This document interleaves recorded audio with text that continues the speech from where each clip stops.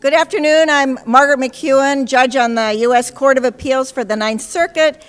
But my passion and the reason that we're here is the rule of law. So I invite you to start your lunch and keep eating during the program. We'll just continue so that we can get everyone back to the House of Delegates on time. Today we're coming together to celebrate the rule of law, to grapple together with the daunting challenges we face in realizing this ideal, and also to celebrate some extraordinary volunteers and contributions they've made toward our cause.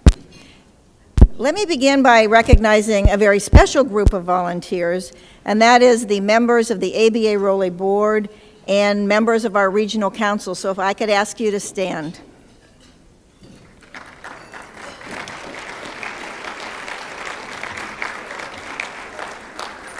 They spend countless hours making our many programs in 50 countries possible.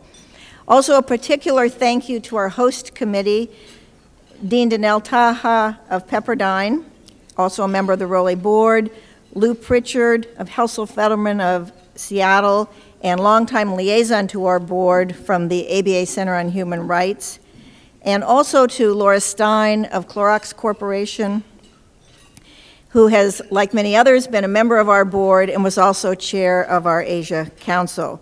They and their energetic committee put together this program and really have helped make this a sellout event for us and one of our biggest events that we've had here with ROLI. I also would like to thank all of our sponsors, especially the Rule of Law Champion sponsor, the World Justice Project, and Bill Neukom, its chair and also former president of the ABA.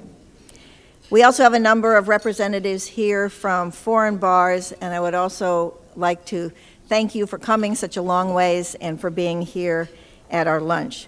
So let me begin with giving you the opportunity to hear from someone who's been a longtime champion of rule of law, and particularly in this last year has endlessly traveled the globe and dealt with many issues our president, Paulette Brown.